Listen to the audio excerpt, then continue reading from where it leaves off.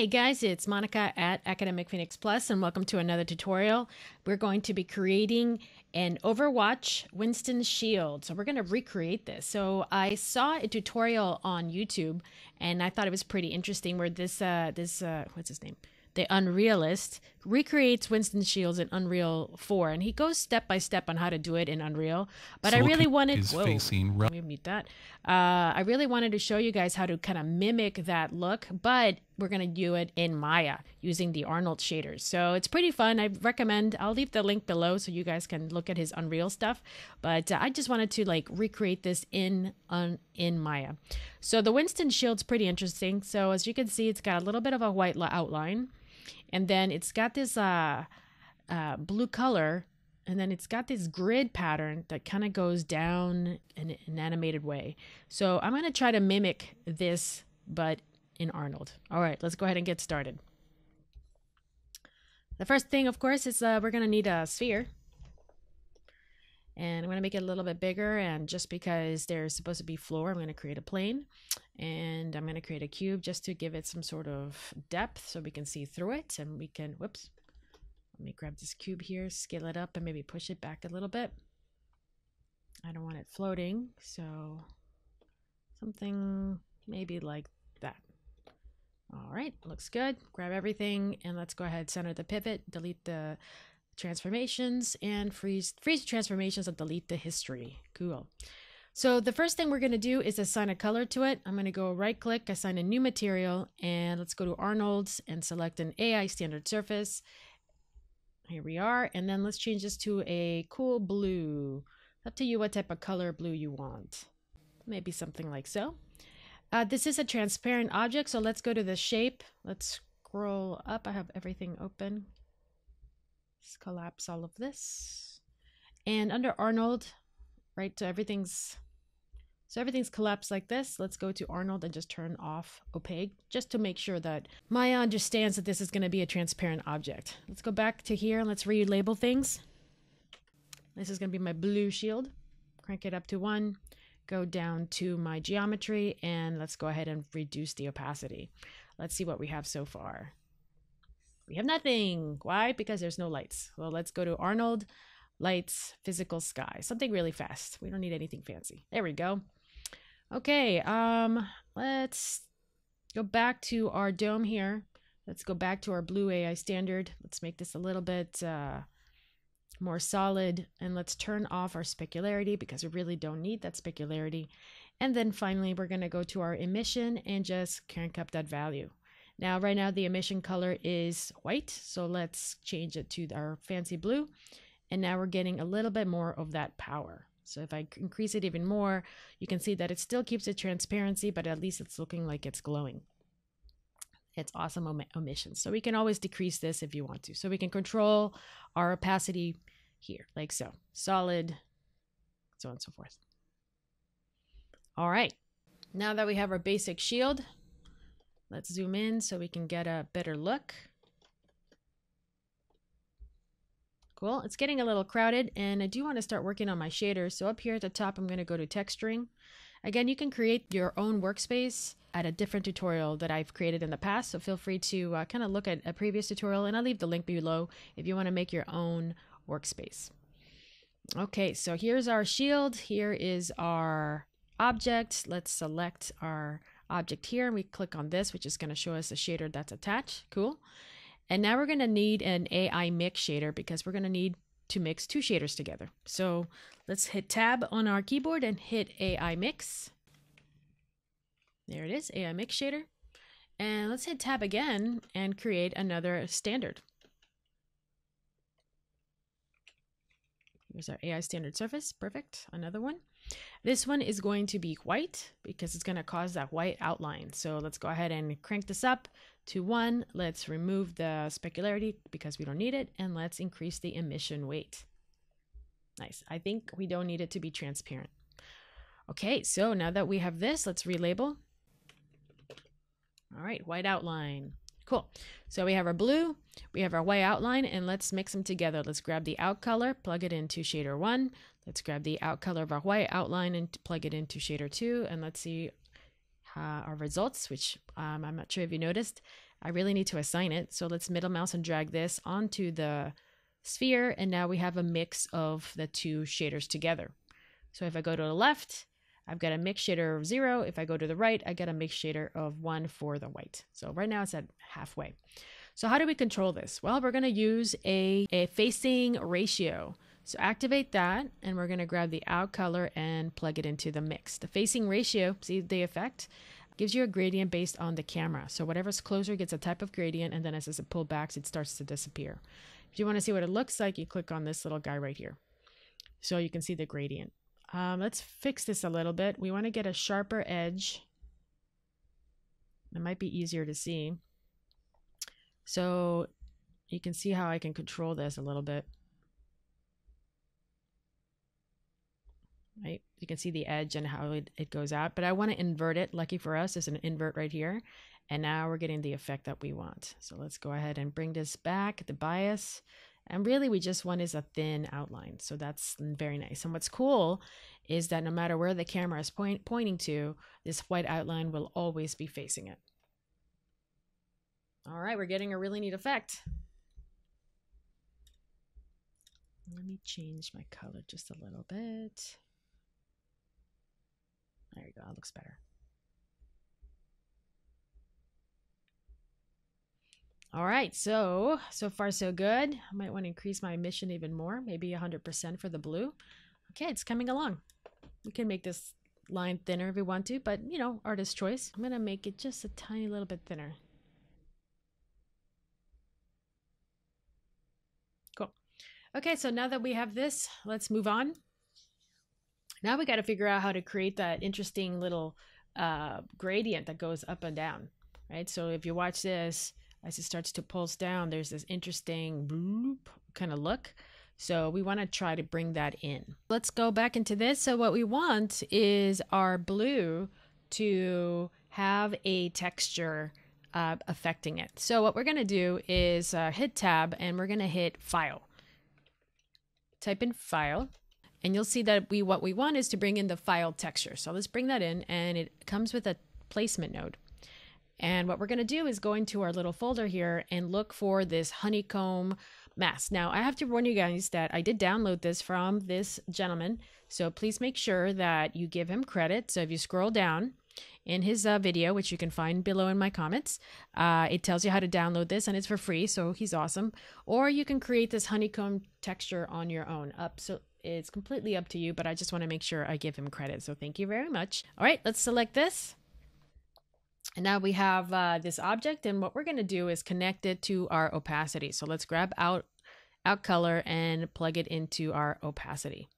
There we go. So now we have this interesting effect. Not exactly what we're looking for, but at least it's working. Let's go to our placement node over here to the left. Click on placement node and let's increase this. It's up to you what you want to do. You can do 20 by 20 and we're getting a uh, that cool honeycomb effect. Um, I think I'm going to stretch it a little bit different, 20 by 10, so that it looks a little bit more like a honeycomb. That actually looks kind of neat. If you want it to be more dramatic, maybe 30 by 20. Or maybe by 10. That actually looks really nice. All right, so I'm really happy with this, but um, it's a little bit too transparent. So I'm going to go into my file here, scroll down to my color balance, and I'm going to mess around with my color offset, which is going to bring back some of that color. So instead of being pure black, I can use this to kind of get that color back so it's not so uh, transparent. All right, it's looking really nice. So far, so good. Okay, so next, how do we get this to animate? The next thing I want to do is take a look at this and uh, collapse things. I'm going to hit one here. I'm going to hit one just because it's getting a little busy. And what I want is to be able to uh, to use um, a gradient to be able to control this a little bit. The only way I can think of doing this, because there's already two opacity nodes attached, I'm going to use what's called an AI mix shader again.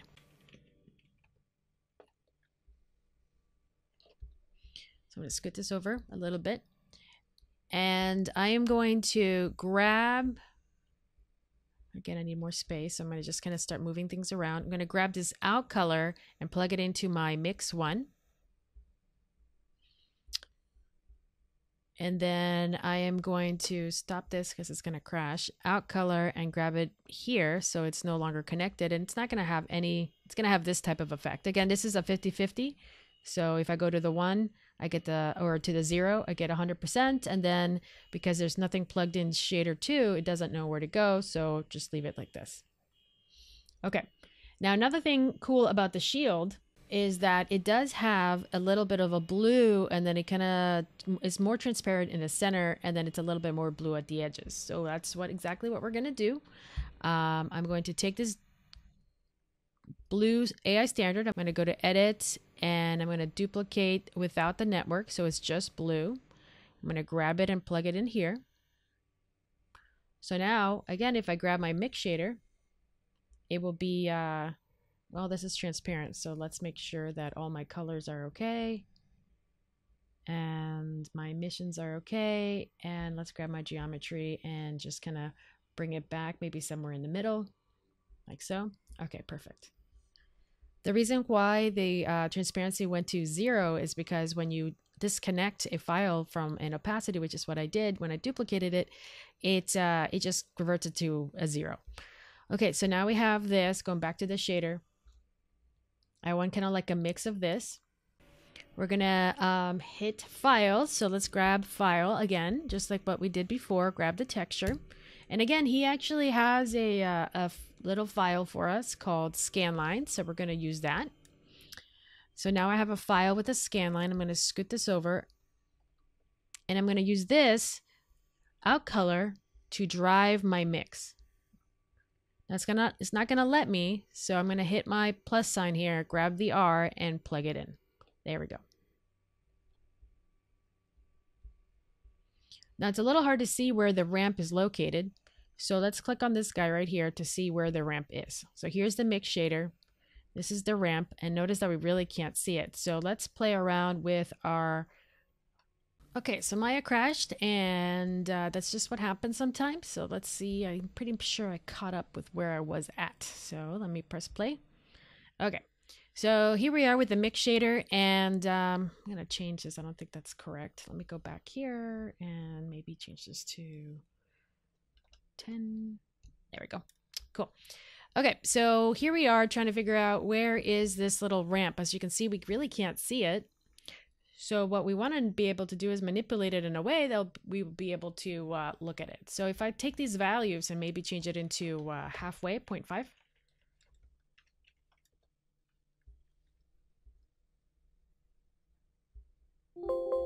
There it goes.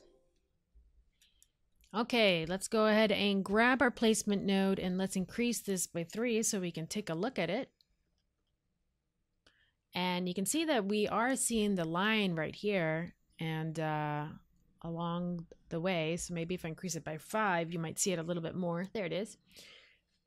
So it, we're getting the effect that we want, but we actually want to reverse it. So let's grab our texture here, our file, and let's invert it. So if you go scroll down, if you go to effects, there's something called invert. Go ahead and click on that.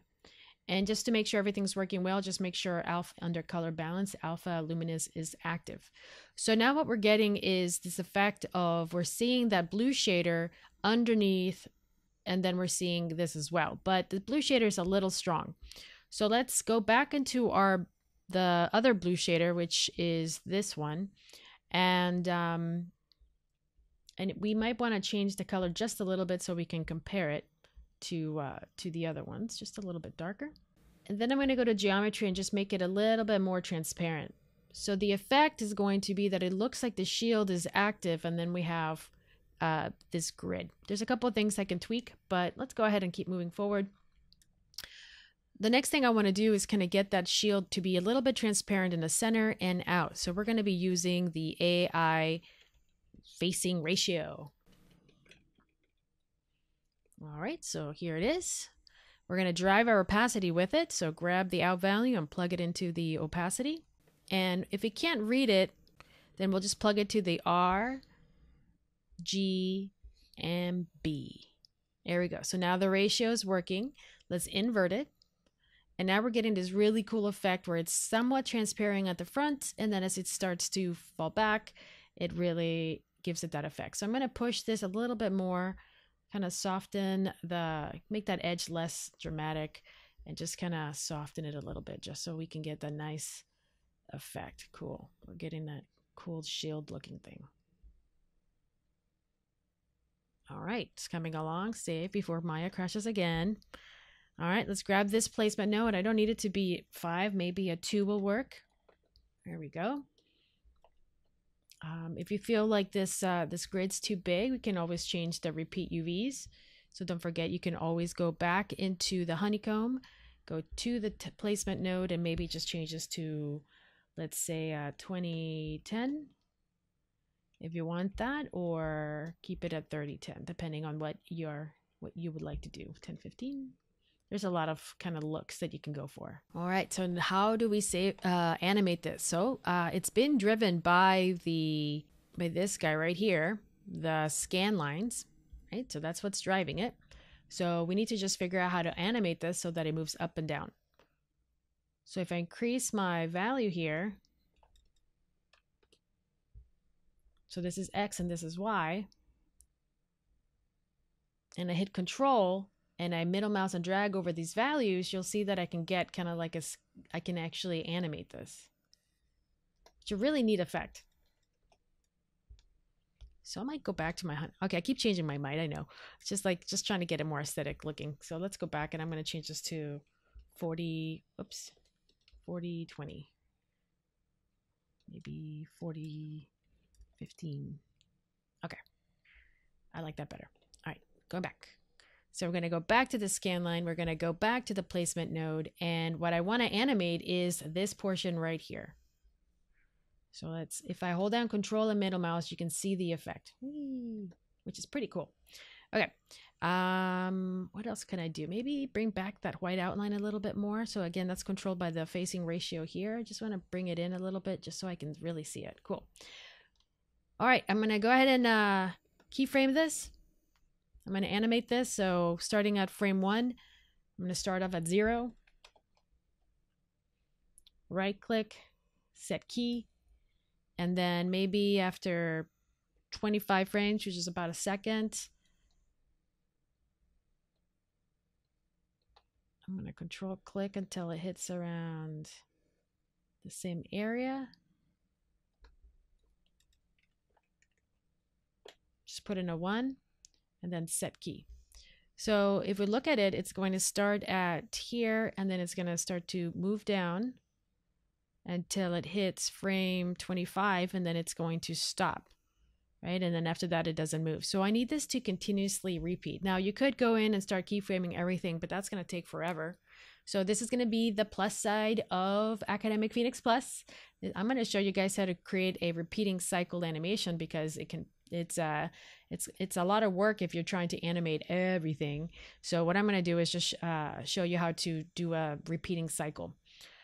All right so to do that we are going to select our scan line make sure we've got this selected by clicking on the output. And over here we have something called windows animation editors graph editor. And the graph editor is the key shows you basically the way the animation flies or flows is that it goes from frame one, which is here, to frame 25, and this is the animation. To get it to work, you need to select all of this, and we're going to go to curves, pre-infinity cycle, and then curves post-infinity cycle. So what that means is that no matter where I'm at, it's going the animation is going to continue in that particular uh, animation. So if I press play, and and Arnold's going to do its best to kind of keep up, you can see that the animation continues which is a but you'll also notice that it kind of slows down a little bit because this does have in and outs. Uh, if you guys know anything about animation uh, if you want to straighten it out this will be a linear animation so there is no ease and outs. It's going to make it look a little bit more robotic which is kind of that's kind of what we want. Um, if you want to see the if you want to view the uh, cycles you go to view and you go to infinity make sure that's on and you can see the animation. So there we go that is how I can create Winston's shield. Now it's it does animate, which is pretty sweet. You can always uh, go in and tweak whatever you want to tweak, but uh, hopefully that gives you an idea of how to get this to work. Um, if you don't want it to cast shadows or anything, then you're just going to have to go into the render the shape of your sphere in this case and just say do not cast shadows and then it will turn off the shadows. The one thing that I do want to throw out there for you guys, especially the ones who likes creating shaders and things like that, uh, one of the cool things about this sh this shield is that when it hits a uh, um, another piece of geometry, it outlines that geometry, and I can't for the life of me figure that out. So that's the one thing that's missing on this piece is that uh, if I try to rotate my sphere, and you see where it's intersecting that cube, I can't get it to outline that. But if somebody knows how to do it, please share and comment below because I would love to learn how to do that. Uh, well, I hope that was helpful, helpful everybody. Thank you so much for listening. I really appreciate it. Hopefully that was at least, uh, you, you know, uh, you learned a great deal. If you found this helpful, please make sure to share with your friends and everybody especially for anybody that might be interested. So again, we're getting pretty complicated shaders here. We have uh, two mixed shaders and they're all being driven by different uh, black and white images. Uh, so it's pretty, it's pretty amazing what we can create. Uh, and what's fun is that this type of nodes translates into other things like Unity and Unreal. So it's just about learning the, you know, the node language. Thank you again for listening. I really appreciate it. Please uh, feel free to send me a message uh, below, or uh, you can always check out academicphoenixplus.com for my newsletter and updates. And I have a Facebook community if you guys want to chat there as well, Instagram and everything else. So thank you again. I will see you in the next tutorial.